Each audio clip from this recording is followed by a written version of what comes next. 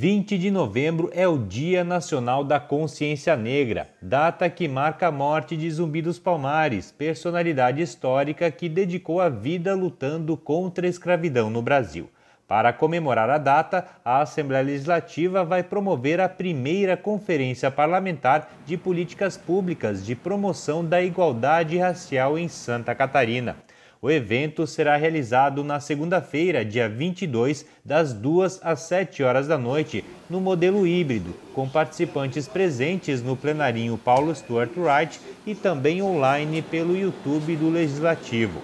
A conferência foi proposta pelo deputado Fabiano da Luz, do PT, e será realizada por meio da Comissão de Direitos Humanos e da Escola do Legislativo, com apoio do Conselho Estadual das Populações Afrodescendentes de Santa Catarina.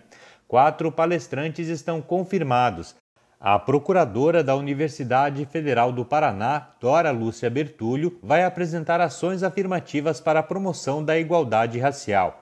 A vereadora da Câmara Municipal de Curitiba, Ana Carolina Moura Melo, vai falar sobre como a elaboração de políticas de enfrentamento ao racismo também é responsabilidade do legislativo. A doutora em História e analista de cultura da Fundação Catarinense de Cultura, Lisandra Pinheiro, vai ministrar palestra sobre o incentivo à produção e visibilidade da cultura negra em relação ao seu patrimônio material e imaterial.